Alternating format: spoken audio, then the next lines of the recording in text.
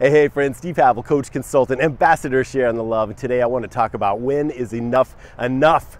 You know, when you've had it up to here with something you've been doing, some behavior, some belief, some activity that you just know is not serving you. And it's just not moving you towards what you want to go. It may be comfortable, it may be comfortably uncomfortable. Could be whatever that thing is. Staying up late, having that extra beer, the glass of wine, the dessert, whatever that is for you, you get to this point don't you know what I mean? You get to this point where you just something inside snaps and you say, enough already, enough. That's it. I've had it up to here. It's time for a change. And it just becomes so painful to avoid making that change that it's just time to make it. It's time to do whatever it takes. And you decide and you resolve yourself to just lean in and do the work and do whatever it is to, to make that change. That dissatisfaction can be such an incredible and powerful motivator to help you get where you want to be. So just know that the best way to know what you want in life is to know for sure what you don't want. It's one of those simple Steve Havillisms that is just really, really true in my opinion. I've seen this happen again and again. If you're unhappy with something, flip it over. If it's staying up late and you know that that's pushing your whole morning late the next day, which has been my thing, then it's about getting back in your routine.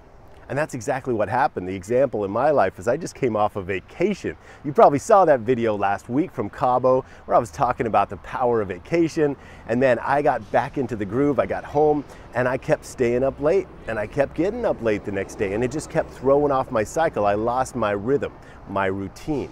And that kind of thing happens. And after about five days of just not being in the groove and being tired and staying up late and being out of sync, I just said, that's it, enough, enough is enough. And that's what had me want to share this video with you. And it just takes that time. It takes, it, it takes the commitment to just invoke the power of your free will, our greatest birthright, to say, that's it. I'm ready for a change. I'm ready and committed to move beyond whatever I'm doing that's bringing me some temporary uh, happiness where I'm comfortably uncomfortable because I stay up late watching that extra show or doing whatever. And you know, we all have that. Whatever that guilty pleasure is, whatever that thing is that's holding you back from that next level, that's what this message is about to identify it and to move beyond what you want in the moment to what you know is going to serve the greater good in your life. And that's the big message today. So, this week, as always, three challenges to move the needle. If you're anything like me, you got anything like that going on in your life, lean in. Here's the recipe. The first thing is to identify those one to three areas where you know there's some next level for you. You know there's something that you've been taking on like it's a birthright. Like nobody's going to tell me not to do that, but you also know it's not serving you. It's not moving you in the direction that you're committed to.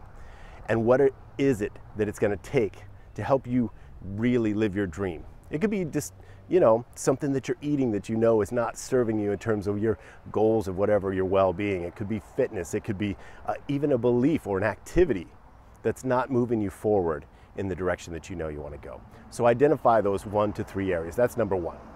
Number two is really identify the ideal. And remember, just flip the script, turn it over. The best way to know what you want is to know what you don't want. Well, if you know that you don't like, for instance, for me, staying up late and the way it feels in the morning, the way I'm tired, it starts the day off slow, I lose that rhythm and routine, then you know that the benefit and the entire recipe lives in just getting to bed earlier getting up earlier, getting back in your rhythm, back in the routine. So identify what is it that new beginning looks like? What are the actions, the activities that it's going to take to get you there? And what new belief can you put in place around it?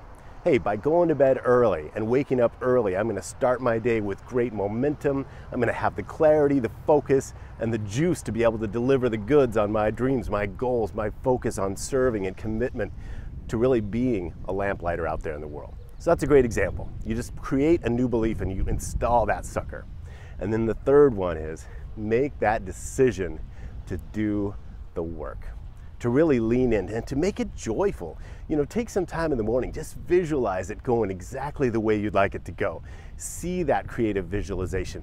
Understand that new behavior and the benefit it can be in your life, the impact that it's going to be when that's done. You can see yourself from the end. You can really really create that greater awareness in yourself, to really understand how inspired you can be by putting this into play, So when you see it through and you have that positive expectancy, that's number two. That's when you can really start to get the benefit and the momentum to keep you getting it in the muscle to do that thing again and again. And the third is just make that decision, like I said, you visualized it and be grateful for it.